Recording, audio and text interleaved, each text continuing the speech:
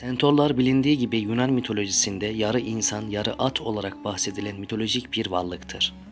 Görünüş itibariyle atın kafa kısmından insan bedeni olarak devam eden bir canlıdır.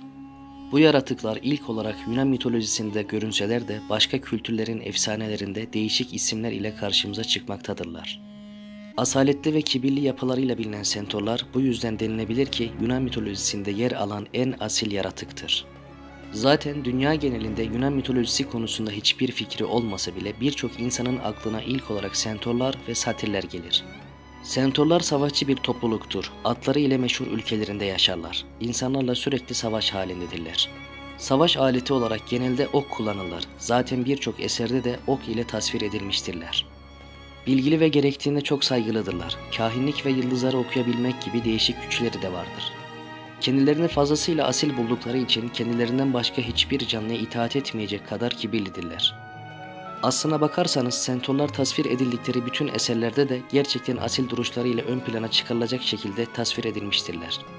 Fakat her efsanede olduğu gibi Sentor efsanesinde de gerçeğe dayanan sebepler olduğu muhakkaktır. Bizi asıl ilgilendiren konu ise bu gerçeklerin neler olduğu, Sentor efsanesinin doğuşuna nelerin sebep olduğudur. Bu bağlamda sentorların atlarla ilgili olan, at üstünde savaşa giden, atıyla yatıp kalkan bir toplum olduğunu, zaman içerisinde de söylencelerle yarı at, yarı insan biçimli yaratıkların oluştuğunu söylemek yanlış olmayacaktır.